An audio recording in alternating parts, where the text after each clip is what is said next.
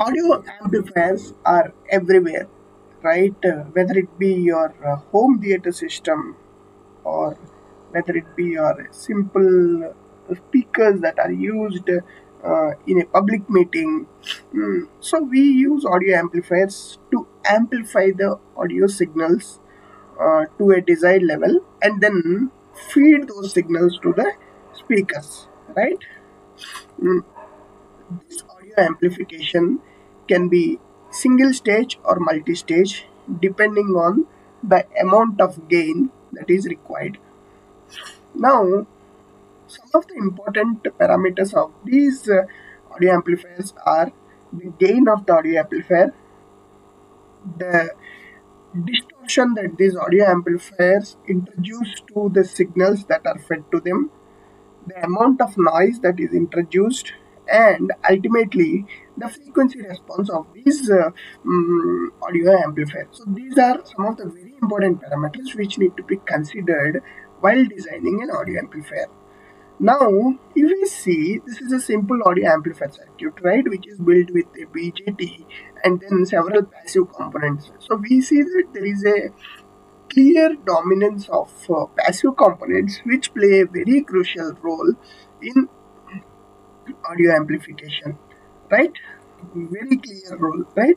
So now um, if we see uh, there are uh, resistors and then the capacitors which act as coupling caps um, between the speaker and the audio amplifier output. So the specifications of these passive components are very very important uh, to for the functionality of this audio amplifier. Now, one of the important uh, parameter of the capacitor especially is the voltage coefficient. So the voltage coefficient is something um, where the which uh, shows the amount of uh, variation of capacitance with the voltage. So this is not desirable, right? Why it's not desirable is uh, um, because you will be amplifying and then you will be having various voltages.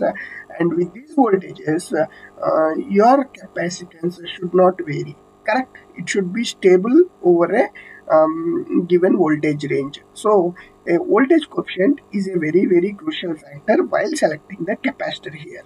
And uh, mm, if that capacitance is not constant.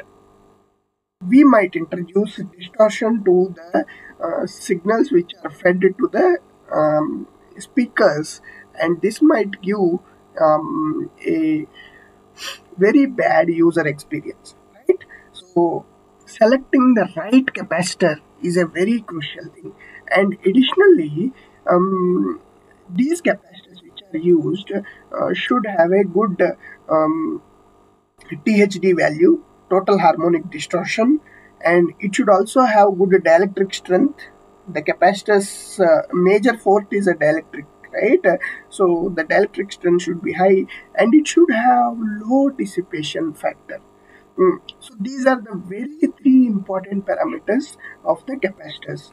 Now if we see three characteristics uh, the first capacitors that come to the mind are the film based capacitors which are basically plastic film based capacitors uh, where the dielectric is actually a plastic kind of material.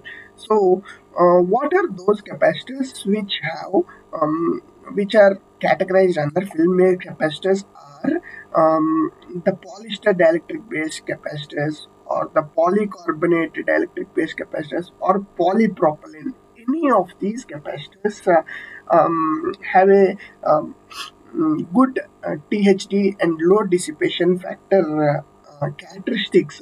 Uh, that is the reason why these are the capacitors which are found uh, used in audio amplifiers. A simple reason why ceramic capacitors are not used because uh, um, they vary the capacitance over voltage. Um, so which is not desirable effect. So that is why um, we see these kind of capacitors, the film capacitors used in audio amplifiers for coupling, especially polycarbonate capacitors um, suit the best uh, when you come to the coupling caps used in audio amplifiers very very important points right uh, which need to be considered while designing an audio amplifier circuit